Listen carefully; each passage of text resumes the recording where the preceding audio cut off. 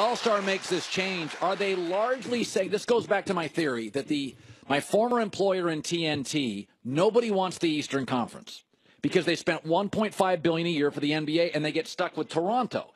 And so what they did is they go to Adam Silver and they're like, Adam, let's go 1 through 16 playoff format, best teams. And so what this is, what happened yesterday is a trial balloon. It's the NBA saying, we're going to take a, a step toward this. The players choose the all star teams, meaning it's not West, it's not East, it's just hoops. It's a trial balloon before they change the playoff format. I hope you're right. Um, I fear that you're not. like I think I don't think we're a year or two away from something like that happening. What Adam Silver has talked about in the past, and I've talked to some players about it, some of them felt the same way. If you had Portland, Miami in the first round, they feel like the travel would be too crazy right. for a first round series. But I just say spread it out. Right. Spread the series out. Right. Make it a little longer. So I would love for them to go to 1 to 16, but a bigger step would have been just have these guys pick the 24 best players, regardless of conference. Instead of having the fans and the media and the coaches still pick the 12 guys from each conference, just say, you know, you the two leading vote getters get to pick the the top your your top 12 players that you want on your team, regardless of conference. But here's the problem. The league doesn't want 19 or 20 of the all-stars to be from the Western Conference. But that's the because reality. think about then then the East is officially the JV. Right now it's unofficially the JV. The eye test, we're looking at the records, we know who the better players are. Yeah, the JV. It would officially be the JV if you had like four All Stars. And as great as Kyrie Irving and John Wall are, and they are All Star players, would they be guaranteed to make the All Star team if you just picked from the, the whole league? No. No. So you would only have LeBron and Antetokounmpo, Giannis Antetokounmpo in Milwaukee.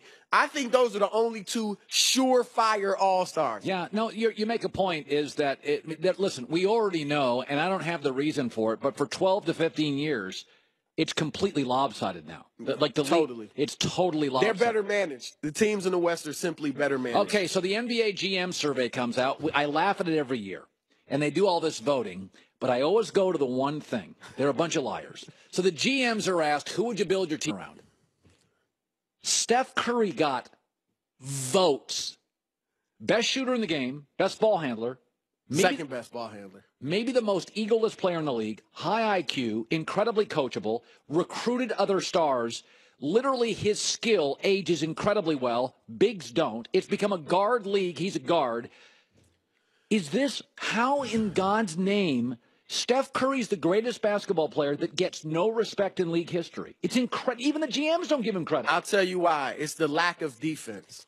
That's what it is. I'll, I'll never forget. I was talking to one of the greatest basketball minds that we know. Um, and I think you and, and all people would agree. We were talking, and this was at in the middle of the 73 win season when Steph was obviously just lighting it up. And I asked this person, I said, is he better than LeBron James? Just because impact. Impact is how you judge impact on the game. Okay. And the impact he has on the game is incredible. And this guy laughed in my face like I didn't know what I was talking about. And he he went off on the fact that Steph doesn't play defense, he doesn't guard the other point guard. You have to hide him. The other players have to protect him on that end of the floor. So that is what a lot of people in the league, whether it's players or executives, that is why Steph doesn't get some of the love that we think he should. Finally, Chris Broussard, because we just need six or seven minutes from the master here today. Um, I am I am thinking about doing something. Um, I believe LeBronzo I am going to patent this because I think it's going to happen, and I'm going to make millions. Um, LeBron to the Lakers. You have you are very well sourced, not only amongst LeBron's people, but can you give me some clarity on this LeBron Laker thing? Because Um, we are getting him in town with kids, talking, not denying stuff. Can you give me the skinny on this? It is incredibly overblown. Now, am I saying there's no way he ends up with the Lakers? No.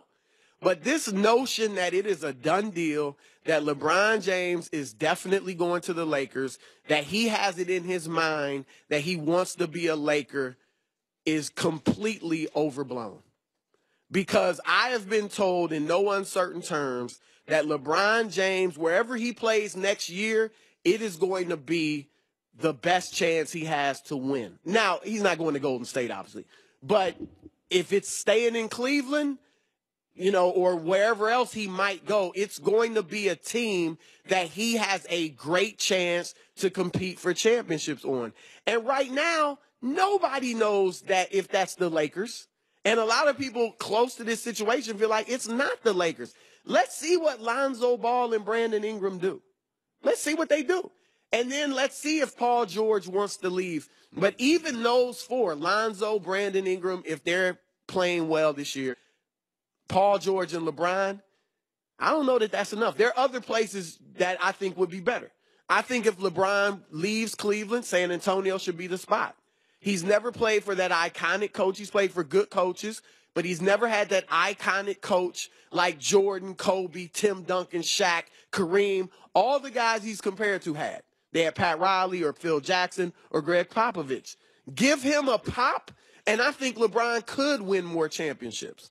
Or who knows, maybe Houston is a nice fit. But to say it's the Lakers at this, no. And he's not, he's not going to play out the last four of his years just to be a great businessman in LA. He's already that in Cleveland. Oh, Sorry. It's very disappointing. I was hoping for a different answer. I know you don't believe me. It's not that I don't believe you. I was just rooting for a different answer. I'm not. I believe. Unfortunately, I do believe you. Christine, she laughs because she knows. I, I, I rooted for the Yankees last night. I'm rooting. Yes. I'm rooting for like Michigan be really good, and I'm rooting for LeBronzo. I'm not lying to the public. What if the Lakers go out in the first round, though? Is that good? In the if they make the playoffs? Oh hell! No, no, no. With with LeBron That's there bad. next year. That's bad. But wouldn't that be likely? Not with LeBron and Paul LeBron, George. LeBron, Paul George, Lonzo. And oh. again, let's see. I like Lonzo.